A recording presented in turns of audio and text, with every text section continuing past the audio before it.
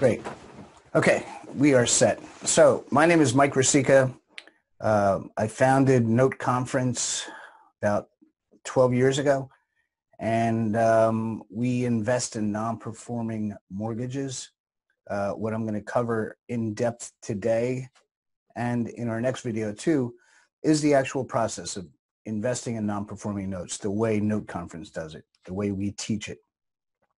Uh, we are going to be covering, um, I, I, believe we're going to do this video series, uh, probably uh, three videos in a row. And uh, looking forward to really getting, I got nothing else to do, um, really getting in depth with how we run our note business. And um, looking forward to share that with you folks here. So we came up with the title Recession Proof Business. And uh, it's, it's so funny because we were, we were on the phone with uh, our bankruptcy attorney as a creditor uh, down in Florida a couple days ago. And I'm like, how's it going for you? Are you guys slowed down or, or, um, or what? He's like, slow down. I'm in a recession proof business. I'm a bankruptcy attorney.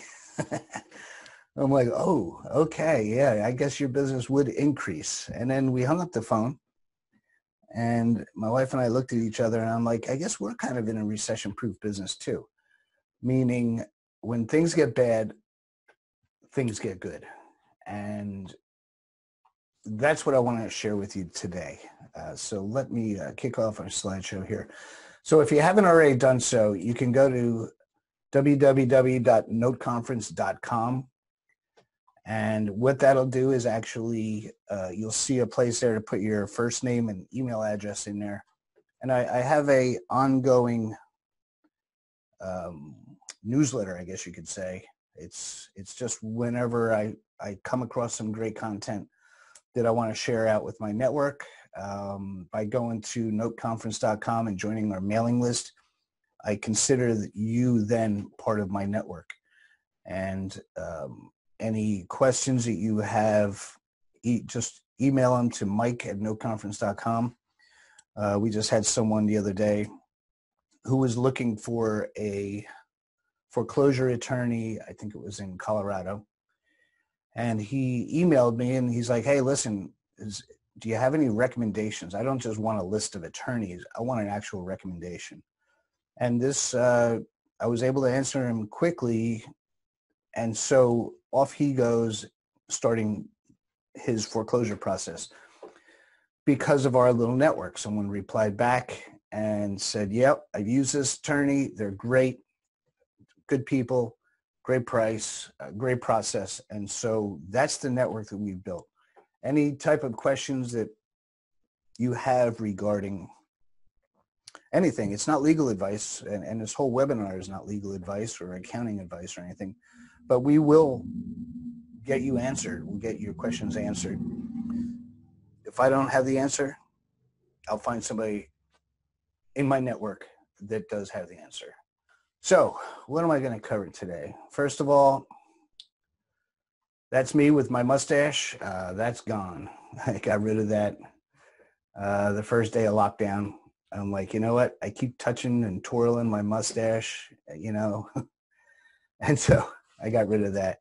Um, all right. So, so with the note business, when, when I first started this business out, I was working I, I quit my job two years prior and I, my whole life revolved around real estate. I ended up getting my real estate license.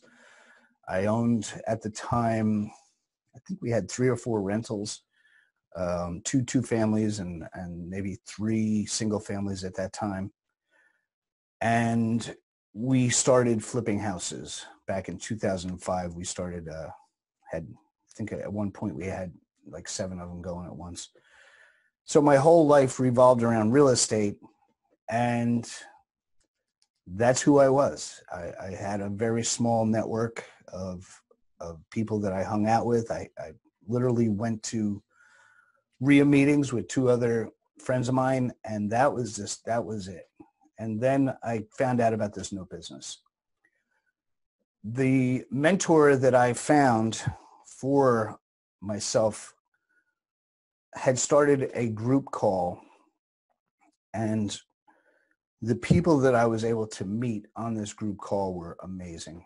Um, I never thought I would ever have contact with the level of people that were on that call.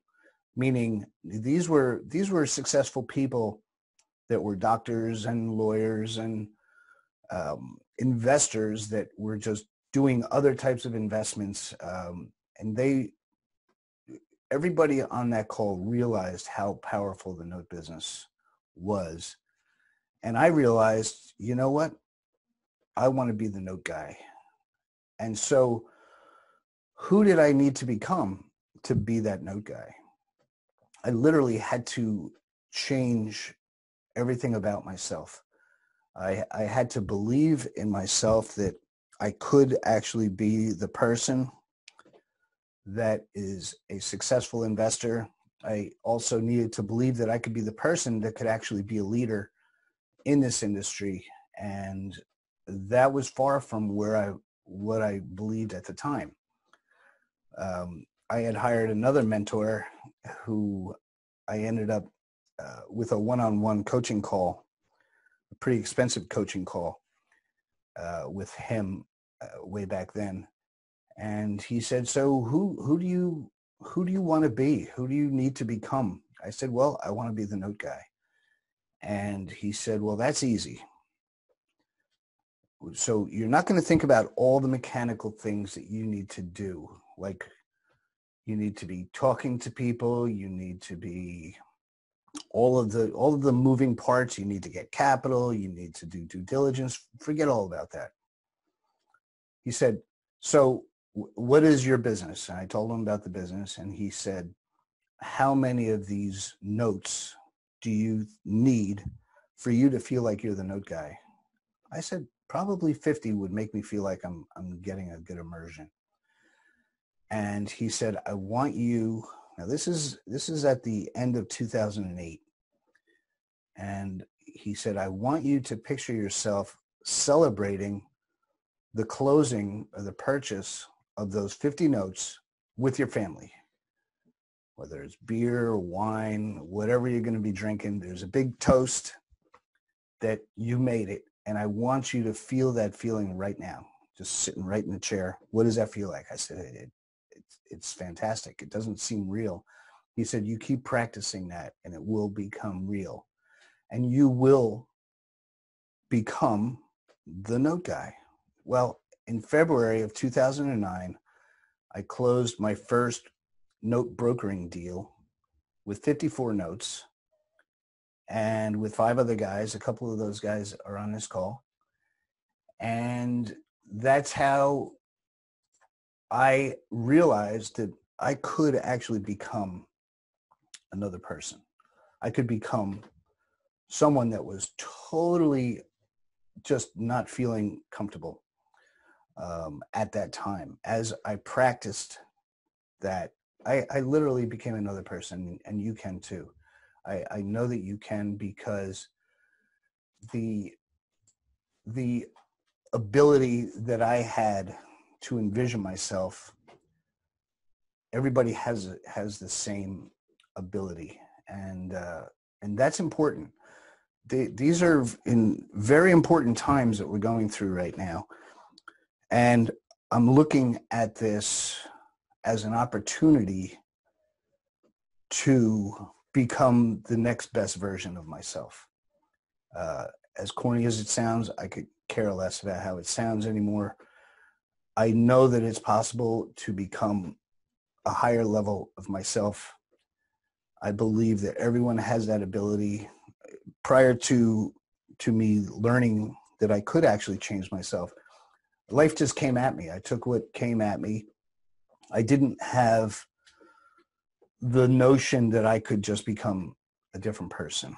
And um, now I intentionally do things knowing how it's going to play out. I and I'll, I'll get in more into that as as we go along. But uh, just literally take this time that we have right now, this nice time of pause, to think about who it is you need to become so that when we all get back on track, we will hit the ground running and being that new version of yourself. All right. So this is how I look at it. For for the people that are not already in the note business, I know that I've got some experienced note investors on here, and I'm assuming that some people are not note investors yet. You can literally start a business now from day one of what I call this new segment of life that we're going through. We're going through a lot of change all at once. Our country is going through change all at once. Our neighbors are going through change all at once. Our, our way of our way of doing business has changed. And so do you believe that you can actually start a business right now from day one and just start living in that business. So let me dig into start with this note business, the stuff that we've been doing for a long time now. Um, probably the most important part of this business is the due diligence portion of this business. The due diligence process of actually evaluating a non-performing note will determine your success with that note going forward. So what, what is the, the due diligence process? So we've been working with the bank now for four years. The process is they send over, they, they were actually faxing over a PDF. We, we've been working with them for a while now. And in the beginning, they were faxing over what they call the deal sheet and in the deal sheet, I would get the property address, the borrower's name, the amount of debt that was owed, what they thought. Now these are these are non-performing second mortgages. Second mortgages. That's actually what I teach. We would get what they thought the first mortgage balance was, and that was uh, and a monthly payment of the loan that they were selling us. That was it. And now it's up to us to derive all of the other information for us to make an accurate decision on what it is we're buying and how much we're willing to offer to buy that loan. So first process, we look at Zillow. Um, I have the ability to run um, 999 Zillow pulls from a spreadsheet automatically. And so I'll cut and paste the addresses of these loans into my automated Zillow um, scraper and hit run. I go do something else. I come back five minutes later and all, however many loans I had is, is completed. I cut and paste that back into my spreadsheet. Um, I get the Zestimate. I get the number of bedrooms, the number of bathrooms, the last sold date, the last sold price, and the actual Zillow link that I can, a live link that I can click on that later in my due diligence spreadsheet. So first thing I do is I get a value of the house. I then compare the value of that house with the amount that they think the first mortgage is, and I determine if there's any equity protecting the note that I'm actually buying. We buy notes that do have equity protecting our position and we buy notes that do not have equity protecting our position, meaning the first mortgage is higher than the value of the house and our second mortgage is hanging out there in the breeze. That's okay. Uh, the next thing we do, if we, we look at the location, we look at it, is it a state that we like buying? Is a state, is it a, in a state that we do not, that does not require licensing? Uh, if it is, we will just pass on, there's um, three states now that we actually need licensing on, or there's some other um, limiting factors that we have to pay attention to, I'll just pass on those loans. Uh, the next thing we look at, if we like the state that it's in and we like the amount of equity or no equity involved, uh, really doesn't matter a whole heck of a lot. I'll get into that later. Uh, we will pull a credit report. Uh, in that credit report, we determine a lot of things. We determine we determine the ability or the inability for the borrower to make payments to us in the future. Uh, that's what that's what our goal is. We're we're looking for long-term monthly income, passive monthly income. And if we see that this borrower just does not pay anything, doesn't make car payments, doesn't make credit card payments, doesn't pay their child support, doesn't pay their alimony, that shows up on the on the credit reports. And we will just avoid those loans. There's no reason to for us to make that that offer, to even make an offer on that loan. We'll just pass on that loan, put a line through it on a spreadsheet or erase it and uh, move on to the next one.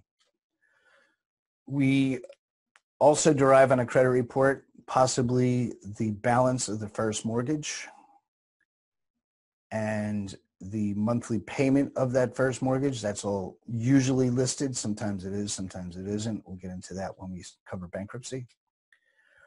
And so we can look at the first mortgage to say, yes, the, the, uh, the seller that is selling these loans was accurate or is inaccurate with the balance of that first mortgage.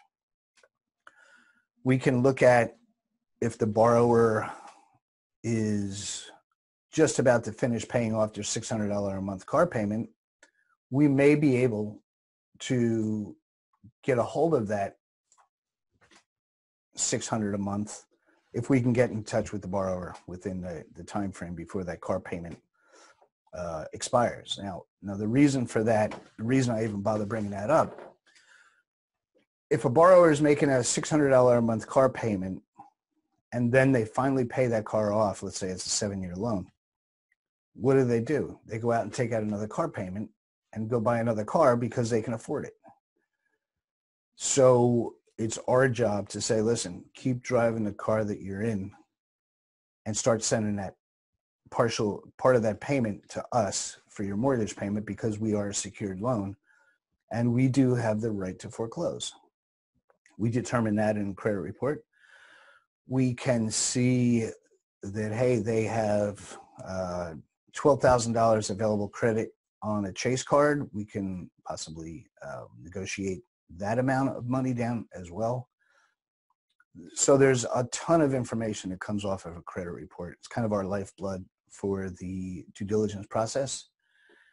And some, and we, of course, get a FICO score. So if there is a, a great FICO score on a borrower, maybe it's a 740 or 750 or something, they may qualify for a refinance. Now, things are going to change a little bit with this COVID situation as far as some of our exit strategies. But we feel that the changes that are going to take place are going to be minimal for our recession-proof business because the amount the amount of distress that we've been working with for the last 13 years um, remember i was doing this business through 2008 9 10 11 where there was no available credit i mean credit was just just it wasn't even funny. Uh, there was there was, and I'm sure that everyone has lived through this, whether you're paying attention or not. That there is just there was just nothing available back in the day, and um, so refinance was not a, a potential exit strategy back then, and I think it might be harder. I don't know. It depends on how this government decides to open up. But um, maybe credit will still be available uh, if the government forces the banks to make loans.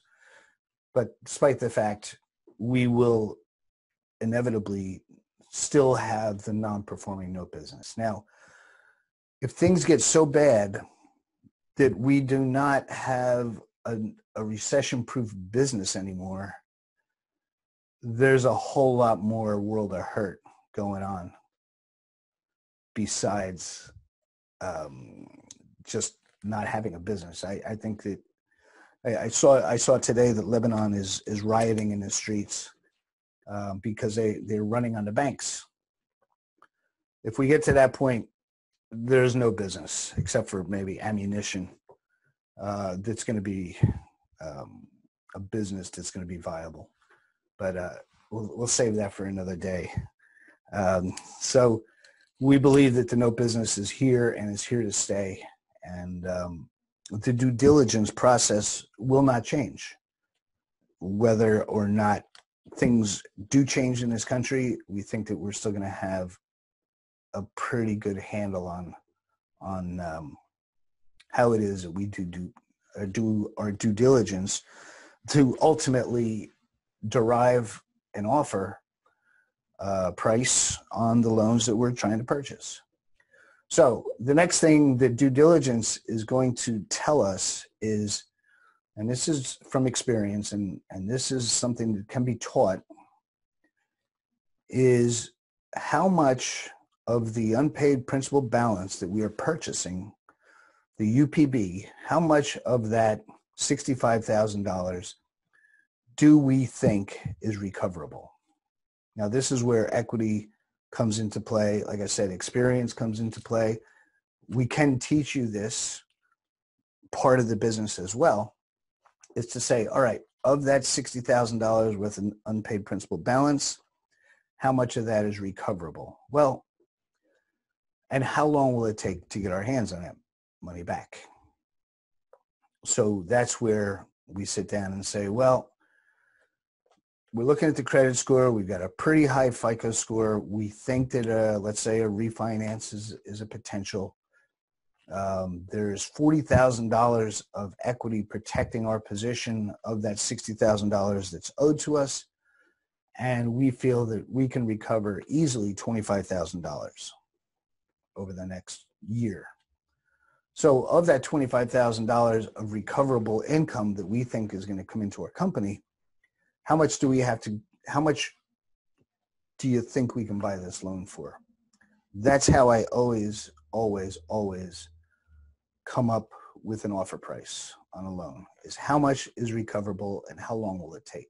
That's really very simple to come up with that. That's exactly how my mentor was selling us notes back on day one, he would look at the note, he would evaluate it, and he would he would say, you know what, I'm going to give our students the potential of making a 50% return. That's how he backed into his prices, and it was brilliant because he would look at it and say, I think $25,000 is recoverable. So he would sell us that loan for $37,000 and we would make 12,000 bucks. And uh, I don't know if that comes out to 50% return, uh, but, or, or, maybe it was a, um, whatever the numbers come out to.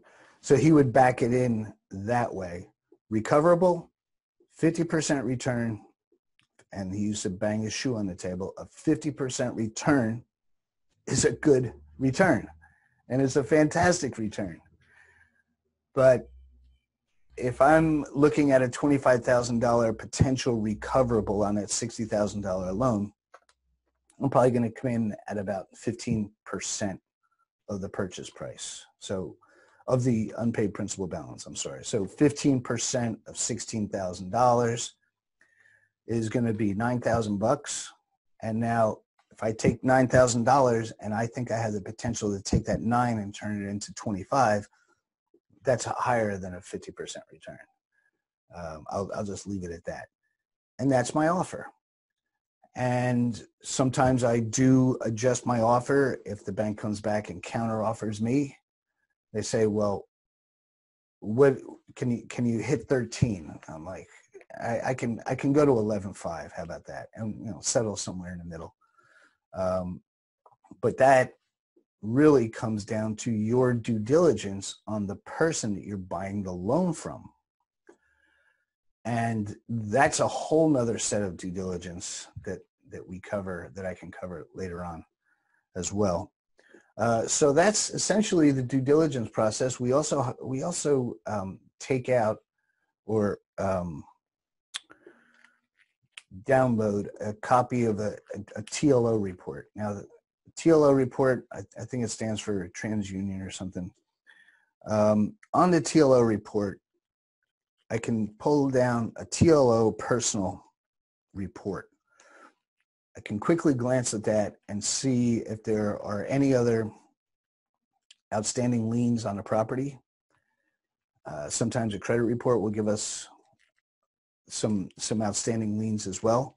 A lot of times those liens are behind us, um, but that that needs to be determined when we pull a title report. Now we don't pull a title report right away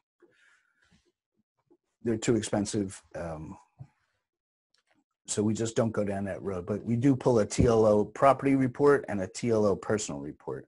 Personal report gives us um, a whole bunch of phone numbers that are potential phone numbers for that borrower. Uh, it tells us that yes, the borrower does actually live in that in that um, address uh, how long they've lived there to see if that matches up with the information that Zillow gave us. Now, the Zillow information, the last sold, uh, the Zestimate is, is easy enough. We all know what a Zestimate is. Now we pull the average of the values that Zestimate goes out and scrapes. We don't pull the highest or the lowest, we pull the average. Um, the number of beds, number of baths, that speaks for itself whether or not we're buying a, a little shack or this is a legitimate four bed, two bath house. And the most important thing that we are getting from our Zillow scrub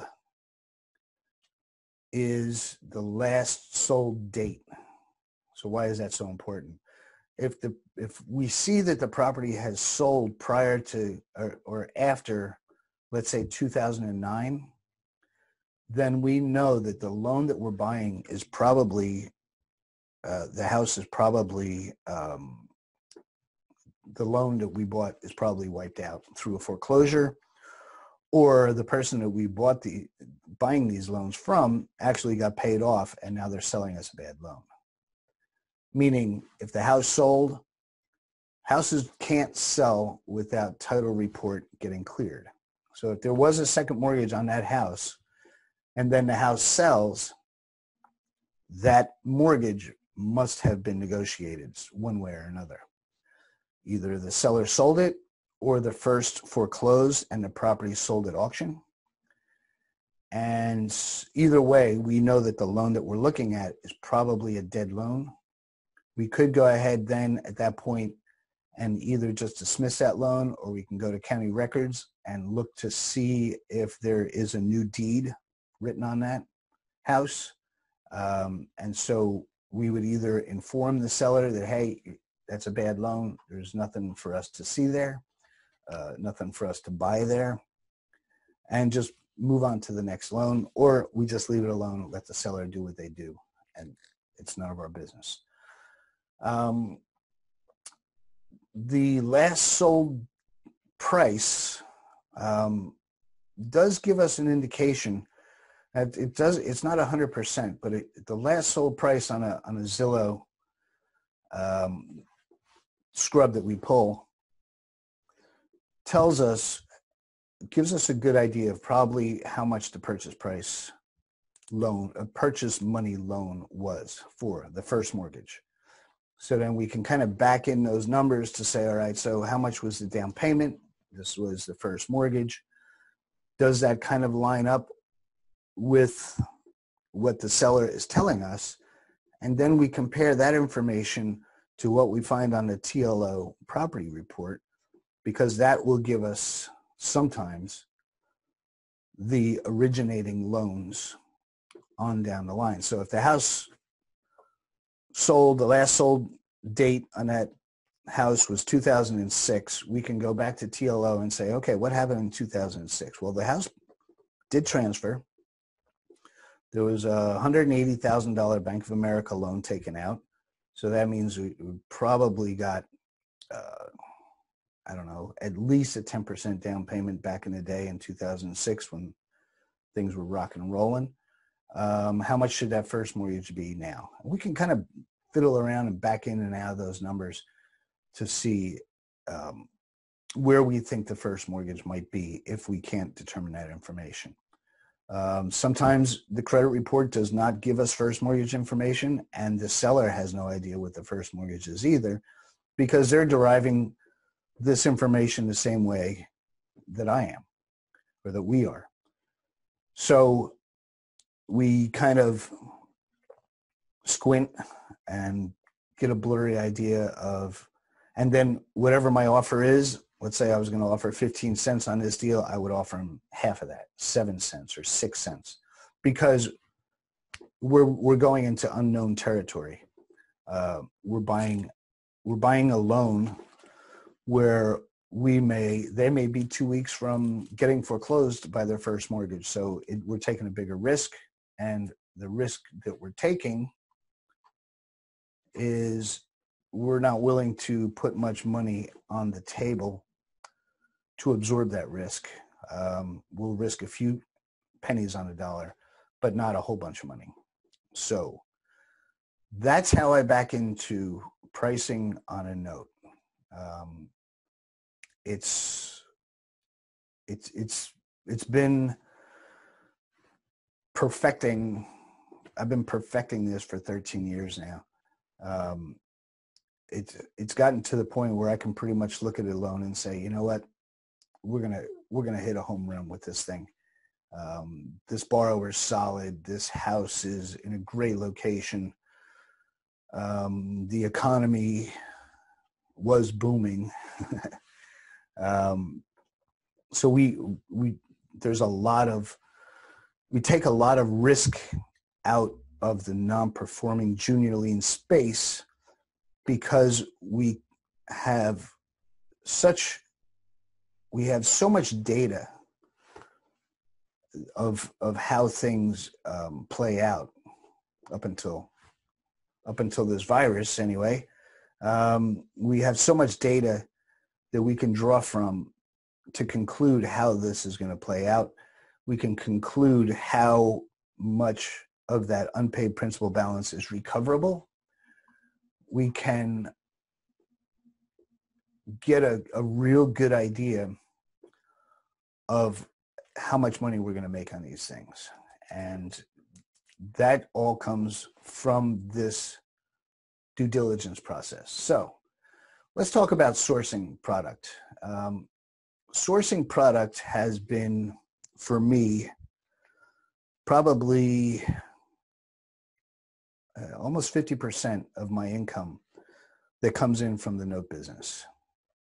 I told you in the beginning of this um, webinar that I wanted to become the note guy. I did my first trade. We bought 54 loans. Um, funny thing is, I didn't make a dime with that trade.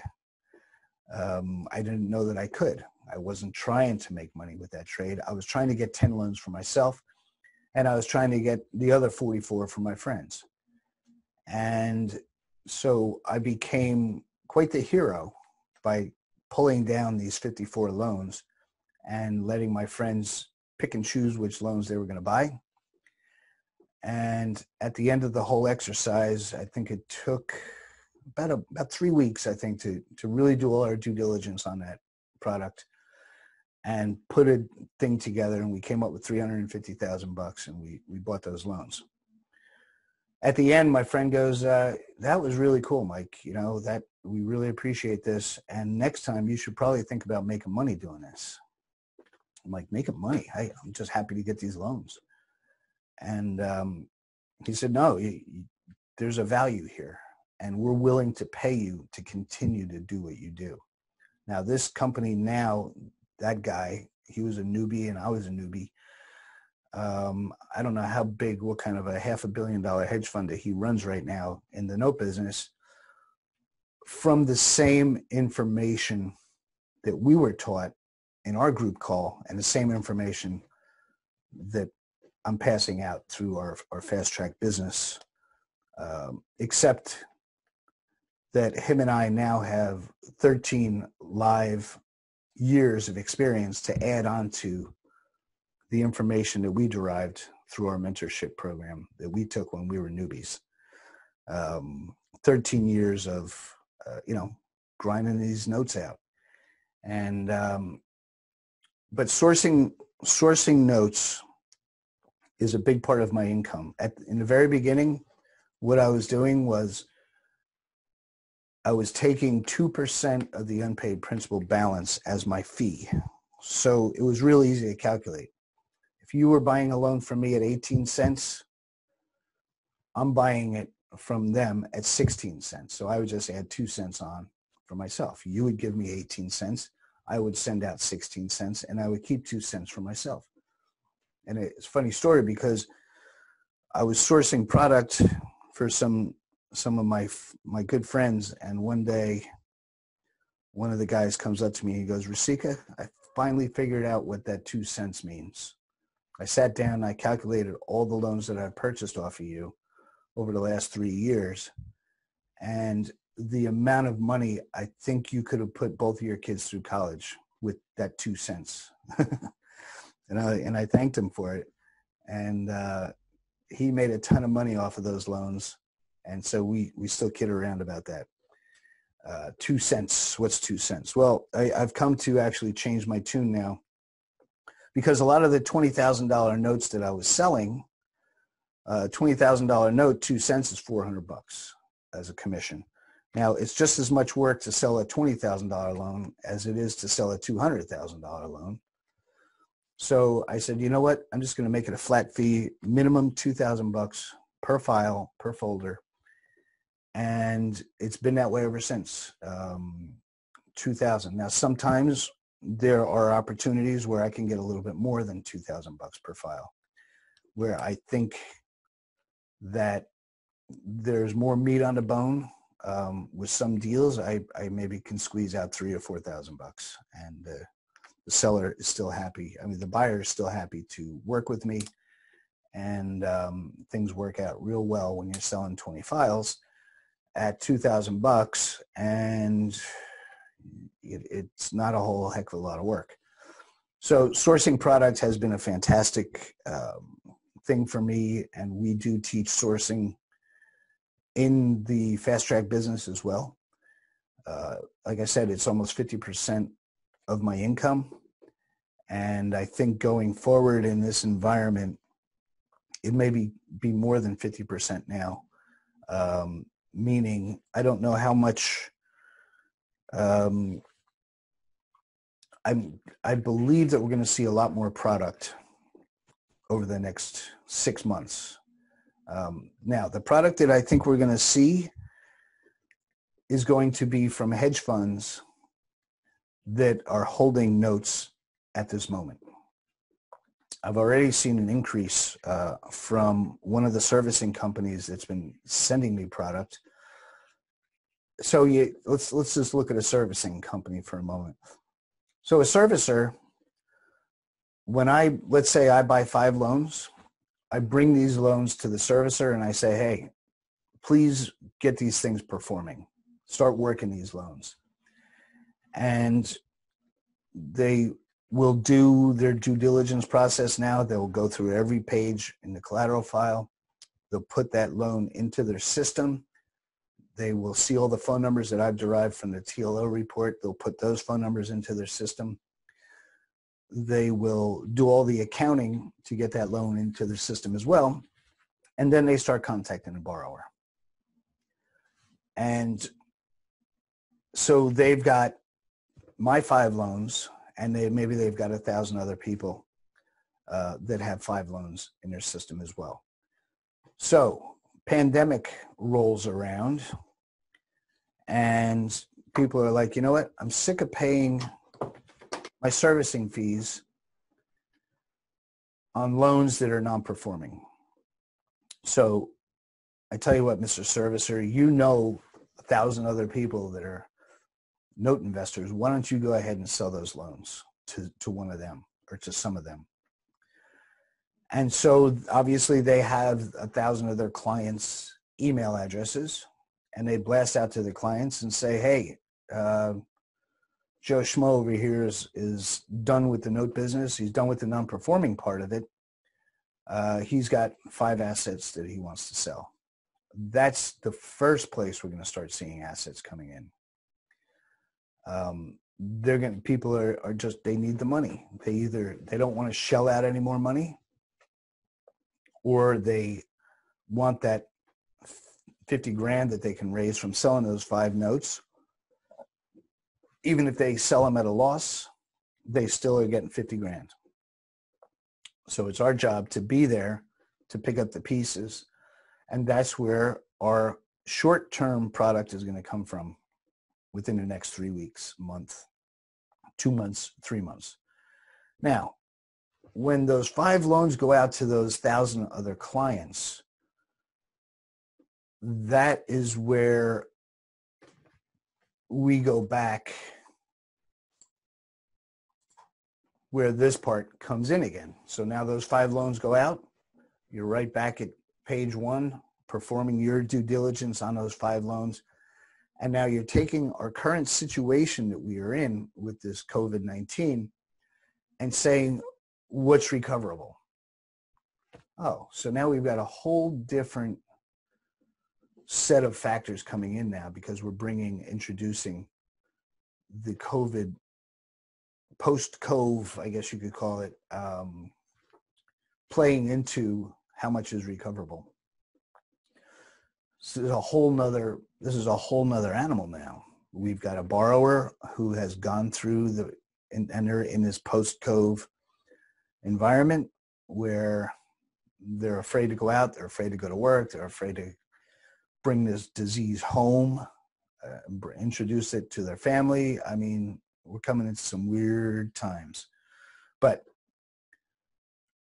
the pricing of this one individual who needs who who wants this fifty thousand dollars to buy those five loans, it might not happen. It might not be five fifty thousand dollars. It might be twenty-two thousand dollars or eighteen thousand dollars because it's a different environment now. And these are important factors to be bringing into your your quiver of arrows now that we are, are introducing a whole new level of uh, events, I guess you could say, and, and circumstances into that loan purchase. So yeah, the seller may want $50,000, but it might not happen. So that's, that's where we're going to be factoring in the haircut that people are going to be taking because if I've got $50,000 of dry powder that I can buy those five loans, but I'm waiting for really good deals. I want exceptional deals and and this seller is stuck on his $50,000 number, I'm just going to pass because we've only got so much dry powder. And if if I feel this way, I think that most of my other investor friends, those other thousand people that are clients of the servicer are going to feel that way too. So what does that do? That drives down the market. It just it, it's just supply and demand and if people are holding on tighter to their capital, they're not going to be making the purchases that they would have made pre-cove, pre-virus. And so I just want to bring that to you as well, that there are going to be a lot more product available uh, short term in the next two to three months for a lot of reasons. Um, some of the smaller and medium and large hedge funds, I believe, in some situations have paid too much for their product during the last five years. Uh, I know that firsthand because I have lost a lot of bids uh, to other bidders, and I was able to find out what was what finally got paid, what was actually paid for the loans that I was looking at, I couldn't believe it. I was like, are you kidding me? People are, people got to deploy their investors' money. We can't sit on money for six months waiting for the perfect deal to come around. They're raising capital first, and then going out and buying loans. And I think we're going to see some blood in the streets on on some uh, of of these funds that were started up, where everybody's preaching price of notes has gone up, and too bad that's the way it is. And like, I'll just wait it out, and I'll wait it out for today, for exactly what is going to happen today. There are people at this moment contemplating how they are going to pay their investors next week uh, at month end. And so that is going to be a determining factor. Every month that we get deeper into this, there's going to be more bloodshed. And that means that the price of notes has just gone down. And so that is a fantastic situation for us to be in. Um, so sourcing product, that's that's back where I was before. Um, yeah, I'm all messed up here. Let's start with this. So by learning the note business and by by seeing what is going on out in the real world, today with um, schools transferring over to a Zoom call, which is fantastic. Um, colleges are switching over to Zoom calls, fantastic. It's a tragedy that these kids are going to graduate not too long from now are going to have to do that virtually as well. It's also a tragedy that when they graduate, they're not going to be going out into the business world because I don't think there's going to be much of a business world for a while um, office, commercial office space, I think is going to be dead for a while, maybe forever. Um, but for us, it's business as usual. Uh, the only thing that, that has affected us so far was we were planning on, on going to Puerto Rico and hanging out and doing the business from there. That's not going to happen um, anytime soon. I wish we were stranded there. Um, I could be doing this webinar from anywhere. We could be doing our, our calls to uh, our, our, bankruptcy attorney from anywhere. um, nothing really has changed other than grocery shopping. So it's been business as usual for us. We've we do this business from anywhere. Um, it's it's an amazing thing. If you don't have your own business, this is the time to think about starting your own business. Uh, I feel, and I have felt for the last 13 years now, that the note business is the most profitable, lucrative, easy business to run. Um, that's just my personal opinion. I've talked with many other investors that are alongside me, and they've come to the same conclusion if you're not in business for yourself right now, this is the time to start. So um, let's see, where am I here? Building your own network.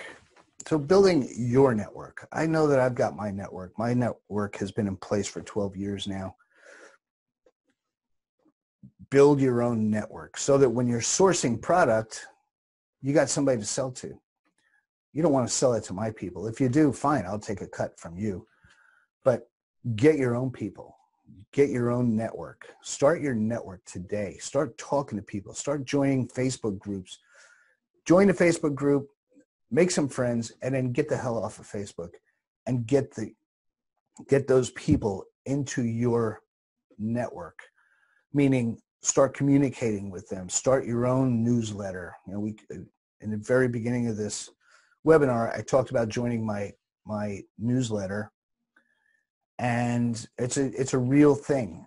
My newsletter bring attracts. I think I've got 930 people as of today that have gone into my email account, and I am able to communicate with them. Now that's me communicating with them, and then if they want to respond back to me, they just hit reply and it comes back to me but they don't get to talk to the other 929 people. That's what Facebook does. It allows those 929 people to talk to each other. That's not your network. That's Facebook's network.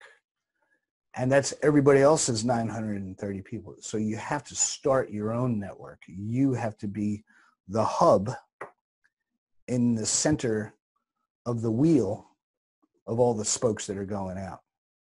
And if you're the hub, that's your network. And Facebook is a great place to get introduced. LinkedIn is a great place to get introduced. Um, and I know that this goes against my son's philosophy of if you're on Facebook, keep your contact in Facebook. Um, that's true to an extent, but I like to pull people from Facebook and put them into my personal network. Um, I think it's it's more intimate that way. Uh, I think that um, people sometimes enjoy the emails that I write. Maybe it gets them a little pissed off. Um, I don't get too many unsubscribes. Um, I've actually, when I hit a thousand a couple of years ago, my price jumped on my email subscription um, software. So I sent an email out. I said, please unsubscribe. And uh, I, I got a very small response. It was, it was pretty comical. Um, I've never gotten an email, please unsubscribe. so um, have fun with it, build your, but build out your own network. And um, I, I know for, for me, it is the biggest part of my business is my network. I, I, would not have been able to sell those first 54 notes if it wasn't for the, the five other people that were, that was the size of my network at the time, 2008, uh, beginning of 2009 it the that's how big my network was and i was able to close a $350000 deal and then i go on with those same five people to take down so many other trades where i started making money on on my uh, sourcing so build out your own network and um, we talked about that this is the coolest all right the only way to predict the future is to create it. So what does that mean? It means where do you picture yourself three months from now? Meaning, how do you picture the future you three months from now?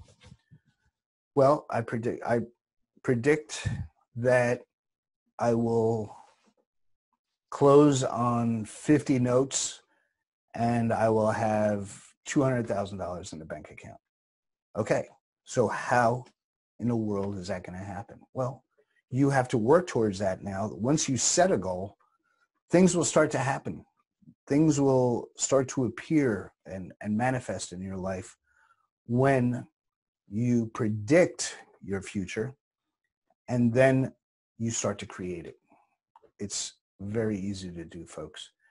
And um, I, I got to say, you know,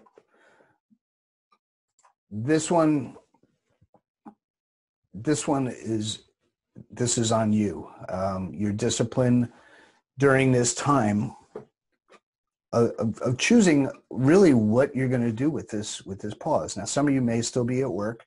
Some of you may be healthcare providers and working your tails off, and we appreciate and, and honor you for that. Uh, I know that there were several people that wanted to get on this call, but they're too busy. Um, we did record this thing. You can go back and listen to it if you want. But it is on you and what you do with your time and how you how you spend your time. Um, whether you're investing in yourself or you're reading or you're partnering with other people or whatever, it really is on you. And um, so I just want to close this up uh, today. I know that we've been on here for an hour. Um, this is my website, noteconference.com. Put your name and email address in there. Uh, that would be great. I will continue my deep dive into our note business on the next call. Uh, I've got a ton of stuff to cover between bankruptcy and uh, a lot of choices of what states to work with, what states not to work with. Probably the biggest thing that I will put into the webinar for next week is going to be how I work with people that sell me notes. Uh, some real inside information that I've gathered over the years on why people sell notes and how to get the best price. I think this is going to be the most important module for next week. Uh, make sure that you look for the registration. Um, we will be sending out a follow-up email right after this webinar to everyone that's participated today. Uh, get on next week's call. It's going to be a doozy. Um, whether you join Fast Track Business or not, I'd love to see you join our, our group. We meet um, what was supposed to be every other Thursday night. Um, it, I'll give you a short rundown. So I started this group about six months ago. Uh, it's the same exact environment as the business, as the way I learned this business. Uh, in a group setting where I got to hang out and talk to and partner with and some broker notes to this group. Um, I think it's fantastic to have a group setting because I, I feel like there's camaraderie in this group. I, I, feel as though we're all all for one and one for all. And that's a tremendous feeling, especially going through this crap that we're going through now. Um, I've gotten a few phone calls from people saying that they can't wait for the Thursday night call. So like I said, I started this six months ago. It was going to be every other week. We were going to take it along for a year. And then this virus hit. I said, you know what? I'm stepping this up to every every week. We're going to have a call every week. Um, it's twice as much as what people paid for, and I don't care. Um, I want to get everybody up to speed on sourcing product, on being part of um, start making money as soon as possible with this group. And so I stepped up the calls to every week because I got nothing else to do anyway. And it's been fantastic. Um, great bunch of people. I think we've got 39 participants so far. Everybody is allowed to talk to everybody. Uh, there's uh, uh, we actually have a private Facebook group that um, you can go into and do whatever you want in there.